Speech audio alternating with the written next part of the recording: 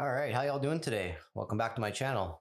Today I wanted to go over a few tools that I've discovered along my journey that honestly it doesn't even matter whether you're beginner, intermediate, advanced trader, whatever you are in your journey. Um, add these to your trading plan. I can almost guarantee you it'll, it'll help you pull more profits and help level up your trading. All right. Because um, when I started adding these to my daily routine, honestly, I saw huge improvements because you know you can't just go into the market um, thinking you're just going to look at a chart quickly and pull profits from it. There's a lot of different factors happening and a lot of reasons why price moves the way it does. Price action is very important, don't get me wrong. And understanding how to read a price chart is very important but there's other things that you should be um, you should be using and you should understand as well that are happening on a day-to-day basis. All right so the first one we're going to look at is going to be babypips.com all right so this is a website designed mainly towards un- getting a basic understanding of what the forex market is all about um, and they they run you through different courses. Um, it's their School of Pipsology. So if you haven't actually done that yet, uh, I highly suggest actually going through it. It doesn't take that long. You'll be done it uh, probably a couple weeks if you put your uh, put your time in. But uh, you'll get a very good understanding of the forex market. However, on their website, they do have some tools that I thought were very interesting um, the first two, once you get a good grasp on uh, trading, the first two you don't really need later on, but at the start, definitely take a look at those. The third one here, the gain and loss percentage calculator, I highly recommend using this on a daily basis to see where you're at. And we're going to look at that in just a moment. So let's pull up their website here. So this is babypips.com. And once you get here, um, you're going to want to go to the tools tab over here. Open that up. Then they have a few different ones. The pivot point calculator, not necessarily needed. You pull up a pivot point um, indicator on your chart and it'll do the exact same thing. However, so let's look first at the pip value calculator. This is important to know because you want to know how much you're risking per pip uh, based on the position size that you're trading, right? So let's say you're trading Euro USD. It's trading roughly 121. Um, but then you wanted to trade 10,000 units, right? Or you want to trade one mini lot. Well, if you're trading USD currency, that's going to amount to $1 per pip, whether that's in your favor or against you. You're going to either make or lose $1 every pip that pair moves. All right. Now, let's say you want to trade one full standard lot. All right, you're going to be risking $10 per pip.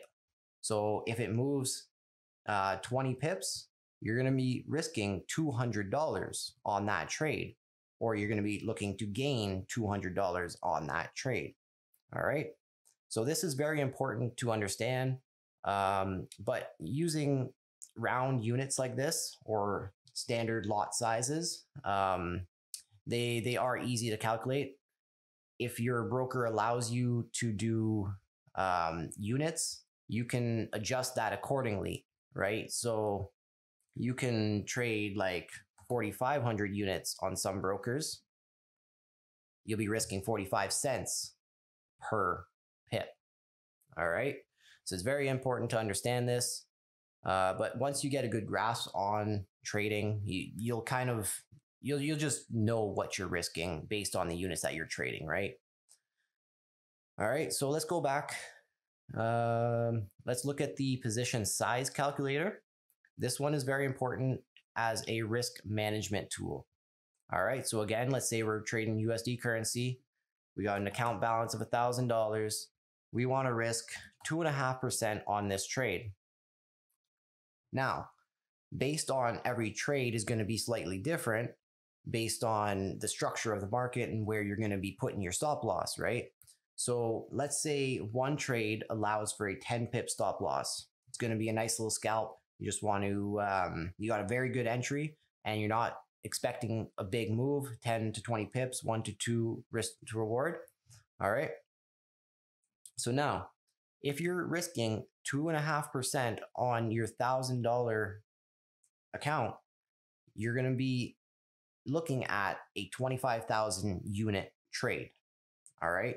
You're going to be wanting to enter in with 25,000 units, risking only $25.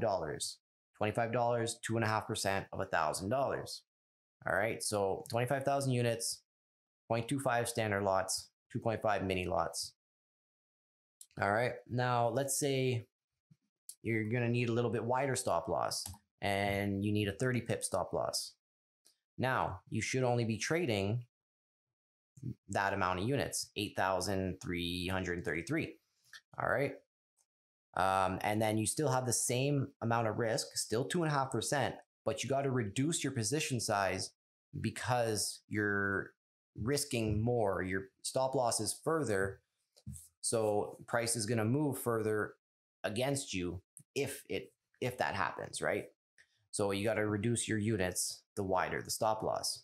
So play around with this. This is very important to understand um, as you go along. You will get a good grasp of it and understand how much you're risking per um, per pips on your stop loss, right?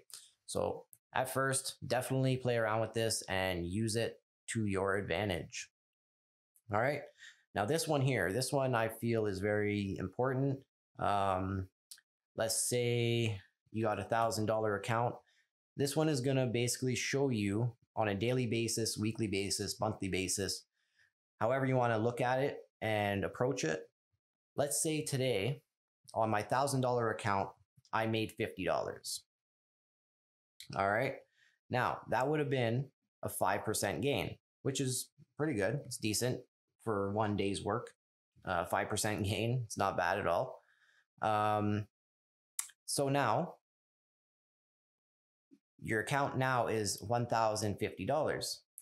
Now to get back to your original $1,000, you can afford to lose 4.8%. You gained 5%, but now if you want to stay above that $1,000 mark, you can only afford to risk 4.8%. However, let's say you took a loss on that trade of the same amount. Now, you only took a 5% loss, but because now your balance is 950, you now need to make 5.3% on that 950 to be back at your $1,000 starting point. All right. Now, let's say you had a really bad day, forgot to put a stop loss on, you lost half your account. All right. This is why risk management is very important. If you start taking big losses, you only lost 50%. But now, because your account balance is $500, not $1,000, you now need to double your account to be back at where you were. You now need to make 100% return off off your trades to be back to where you started. So this is why risk management is very very important. You need to control your losses. All right? So play around with this. Honestly, I suggest using it on a daily basis, weekly basis, um, just to see where you're at and what you can actually afford to lose on your trades. But um, yeah, those are the three tools that Baby Pip offers that I find are very important, especially if you're a new trader starting out. Add these to your trading analysis, to your trading plan, and um, yeah, you'll see you'll see a big difference in your in your trading. All right, so now what do we got next? We got investing.com. So this one I like their economic calendar the best, honestly. Um, a lot of people use Forex Factory. Not a huge fan. I find investing.com has a very good cal- um, economic calendar that auto updates. You don't need to refresh it. The numbers will just appear and they're very clear. You can adjust the calendar the way you want with which um, countries you want to display, um, the high impact. Um, you can ignore the low impact, but we'll look at that in a second. The next tool, Forex volatility. Third one, Forex correlations. All right. So let's pull up investing.com. So here we got their website. You want to go to the tools tab and then click on that. It'll bring you to this page here. You could really and truly just click your economic calendar here. However, once you get there, pull it up. Right now, I have it set to only high impact news. So in 41 minutes, New Zealand is going to be releasing their employment change numbers. So if I'm trading the New Zealand dollar, I'm going to want to know this. I mean, any pair really related um, to the US dollar, because that's what it's going to affect a lot. Um, you're going to want to know about news in general. But the New Zealand dollar will be impacted the most on this news. All right. So you can adjust it, um, you know, set medium impact news. Once that loads, you'll see there was quite a bit of news today. Um, Euro had GDP numbers, but they don't consider it super high impact news. Um, the only one today was that employment change numbers. But this one here, you want to use it because you know, let's say you are in a trade and you got a 20 pip stop loss. Sometimes when high impact news comes out, it could spike 20 pips and then you're out of that trade because you just got stopped out for no reason because you weren't paying attention to the news and you didn't know that they were releasing something that is very important to your currency that you're trading. All right. So, you know, you can you can stay in your trade. That's totally up to you, but be aware of what's happening within the markets. When things get released, it will move the market. So just know that. All right. So this is the one I recommend um, on investing.com. Now, their next tool, Forex volatility, this one here, I find very interesting. So I'm going to adjust this to 13 weeks that's going to give me the trailing three quarters, or sorry, three months, the trailing quarter, right? So the past three months. Now, on average, the range from the high to the low of every day for the euro is going to be, sorry, for the week is 75 pips. All right. Now, on GBP USD, this one has a little bit more range. Is going to be your average is going to be 119 pips. All right. And it's going to move roughly 91%. All right. Now, let's see. Um, in the past six months, it has volatility has gone up a little bit. There is wider price movements. It is coming down slightly now, but in the past six months, um, it's been roughly, well, 119 pips. All right. That was the average. Now, this one here is actually very important to know. Note this one for sure. Um, each pair is going to have a time of the day that's more volatile. For the pound, you're going to see spikes. So 7 GMT, if you're trading Eastern time, that's going to be 2 a.m. All right. So as soon as London starts opening, you got a big spike. Nothing really happening during the Asian session. But as soon as London opens, you got a huge spike in volatility. So if you're trading the pound pairs, you want to be aware of that because overnight like I said, if you're trading Eastern time zone, you're sleeping. This is 3 a.m., 2 a.m., right? You're sleeping. So this could swing you out if you're in a trade. All right. It, you, you need to be aware that there will be high volatility while you're sleeping. All right. And then kind of slows down a little bit. Still, still pretty volatile, but does slow down a little bit in between the London and the New York Open. All right. And then once London, once New York session opens again, it picks up and then drops off as the London session starts closing. And it's just the New York session trading. So now let's see, because we have very low volatility during the Asian session. Let's pull up the Aussie yen. Right? So now, during the Asian session, we have a big spike in volatility here.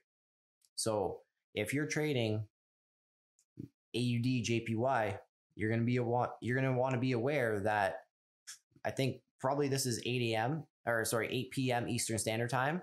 I'm not 100% sure, but that's usually when the volatility picks up.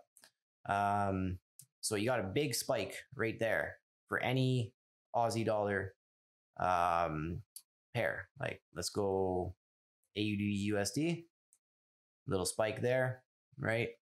Now, if you're trading any uh, yen pair, you should see higher volatility as well, right? All right, so time of the day, very important. Your average pips, very important as well, because you're not going to want to, um, you know, if it's moved past your average true range, you can add reversion to mean to your trading plan. That's a whole nother topic, but um, your average true range, that's where it should be moving. If it extends past that, you know, it, the likelihood of it reverting back is pretty high, but that that's for another video. All right. So now let's pull up Forex correlation.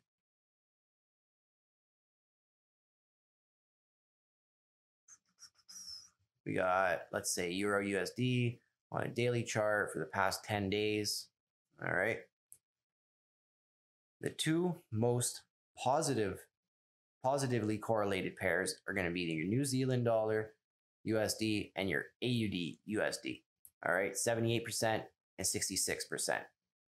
And these are your three charts here. You can see they're not perfect, but they have over the, you know, for the majority, they have moved in the same direction. All right. If we go further, 200 days, you're going to see higher correlation. You got 96 for AUD USD, 95 for J, uh, GBP USD. All right. So now you see that they are over the long term more correlated than in the short term. Um, then if you wanted to look at negative correlated pairs, you got, uh, let's use dollar Swiss and dollar CAD. All right. 99% for the dollar Swiss, negative correlation. So if Euro USD is moving up, USD um, Swiss francs is going to be moving down. All right.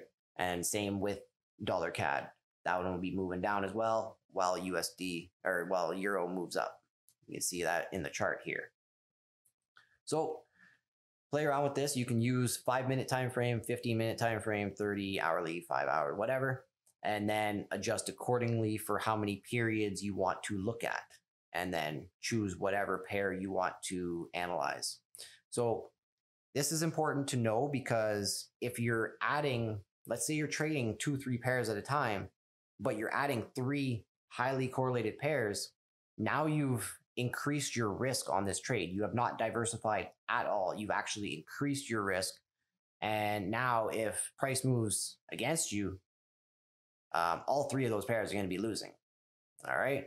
So you're going to want to know which ones are more correlated to each other. And if you're trading multiple pairs at a time, try to avoid high correlated pairs. All right. So that's a tool you can use. Um, I do highly suggest using this one. This one is actually very important to know. Um, once you start understanding the different pairs, you'll understand which ones are more correlated to each other. But um, correlations do change over time as well uh, with different news and different things that are happening, especially on the intraday charts. All right, so be aware of that. Long term, they're going to be major like majorly the same over the long term, but intraday, be aware that they do fluctuate. All right. So now, next one we got barchart.com. So this one here, this is a Forex map. Let's take a look at it. Once you get to barchart.com, you want to go to currencies over here. Once you get there, uh, Forex market map. All right. So now this is going to show in the past day which pair has been the strongest. All right. And it is a free tool, so there is going to be ads. Um, however, let's say I'm looking at this right now. Clearly, I could see that the Canadian dollar today, only today, was the strongest currency out of all your major currencies. The weakest was your Aussie dollar. All right. Now, it also shows you how much it's moved against other currencies. So the Aussie CAD, that one is up 0.77%. It's going to look slightly different because I know you're probably used to looking at it as this here, right? The Aussie CAD this way. This is how majority of people will trade it. Um, but yeah, it's down 0.77%. So it doesn't show you how many pips, it just shows you how much percent. However, um, this will change day to day. And let's say news releases, and all of a sudden there's positive news for the Aussie dollar. This could easily spike up, and then you'll see um, strength in the Aussie dollar. So this will help you determine which currencies at the moment are stronger than others. And if you're looking to buy the Aussie dollar, let, let's say you're looking to trade Aussie CAD right now, but you're looking to buy the Aussie dollar. Is that really the best idea? Maybe if it's on a structure area and you got a nice signal, possibly. It is very possible that it does start moving back up. But at the moment, it is the weakest currency. So just be aware of that. All right. So that's barchart.com. Um, this one, I personally leave this open all the time. This one's just on a separate um, separate uh, tab over here. I leave that this one open all the time, um, just so I could kind of get a good understanding of what's happening in the market right now and which currencies are stronger and weaker than others. All right. So now, what do we got? Trading View. This is a charting platform. Um, this is personally what I use to plot my uh, my tools on my my uh, structure areas, things like that, and analyze the chart. Basically, this is the platform that I personally use, and many people around the world use this platform as well. It is probably the best. Um, honestly, way better than MetaTrader, but that's on an that's on another topic. But anyway, so this one here, this is going to be your technical analysis tool. So they're going to, if we pull it up here, they're going to show you um, different strengths based on different factors. And we'll, we'll get into that just a moment here. How do I get into that? I forget. Uh, so yeah, you go markets, currencies, major currencies, and then let's say I wanted to analyze Euro USD. I'm going to click that one there. If anybody knows of a faster way to get to this tool, let me know. Um, I'm pretty sure actually that you can get to it right here as well. Wow, my computer's going slow. Um, yeah, so let's say I'm looking at Euro USD, right? Pretty sure if you pull this up, it's going to show you the strength right here. All right. So, but this is just going to show you on one time frame. It's not going to show you the in depth like I'm about to show you. All right. Um, but it does show you yearly. It's up 11%. Um, year to date, minus 1. Um, but yeah, so once you go to more technical tools, so this is an easier way. I just thought of that after, but this is an easier way to see it. So let's say I wanted to see it on the daily chart. All right. So summary is going to be oscillators and moving averages added together. So now we got 12 indicators, 12 oscillator or three oscillators and nine moving averages giving us a sell signal. Eight are neutral, five are giving a buy signal. So basically what they're using, they're using a 10 period exponential, 10 period simple, 20, 20, 30, 30, 50, 50, 100, 100, 200, and 200. And then they got your Ichimoku cloud and volume weighted moving averages, and then your Hull moving average. So those are going to be all the moving averages that are um, analyzed. TradingView does this by its by itself. You don't need to do anything. You just pull this up quickly, and it will see where it's at on the chart. All right. Now for your oscillators, you got relative strength, stochastics, commodity channel index, uh, your ADI, awesome oscillator, and then all the other ones that you see there. So basically what it's going to do on each time frame, let's say I wanted to go down to a one hour time frame. Now it's the moving averages are giving me a strong sell signal. 11 are saying sell, one is neutral, three are a buy. All right. So you can see here, anything above the 20 moving average is all giving me a sell signal, which means prices below those moving averages. It just recently, likely, um, I haven't looked at the chart in a minute, but likely just moved past the 10 period moving average. And that's why this one is giving a buy signal. All right. So now um, you're, it's going to show your oscillators as well. You got two buy signals. The rest are all neutral. All right. So now, uh, let's say I wanted to go to a five minute time frame. See, now it's saying a buy on basically all of them. A very strong buy for moving averages, kind of neutral for the oscillators. So this one, you can add this um, to your trading plan based on the time frame that you're trading with, right? If you are using the five minute time frame, what's it doing right now? What are all these indicators actually telling you without having to put them on your chart? You can easily just pull this up and it'll tell you. All right. If you're planning to hold the trade overnight, maybe use the four hour, see where the strength is, right? See what all these indicators are telling you and make your decision. If it's giving you a good signal and, you know, you still want to get in, just be aware that currently, right now, the strength is saying sell. So be prepared that you may potentially get stopped out on that trade. All right. Anyway, that's that one. What do we got next? Last and final tool. It's going to be your latest news stories on forexfactory.com. As I mentioned before, Forex Factory, a lot of people do use their calendar. I'm not a huge fan of it, but for their news stories, one of the best that I've that I've came across anyway. Um, they they stream news from a whole bunch of different websites, and you'll see just in a minute.